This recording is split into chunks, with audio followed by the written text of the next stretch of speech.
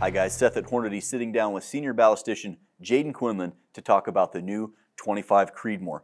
Jaden, the 25 Creedmoor has been living in the Wildcat space, but it's now SAAMI accepted with factory ammo options out there. Talk to us about the match performance of the 25 Creed. Yeah, that's really where you saw it live in the Wildcat world for a long time because it's it's the perfect balance point, it seems like, between the 6 and the 6.5.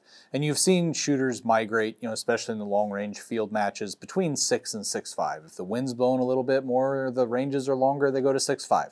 If it's more of a positional match on the East Coast where the winds aren't heavy, they shoot a 6 and both of them have great performance and you know pros and cons to each of them. Of course. And the 25 cal is really like the maximization of the pros that lie in between. Light recoil like the 6 great aerodynamics even better wind capabilities than the 6.5 it's just a really well-rounded cartridge.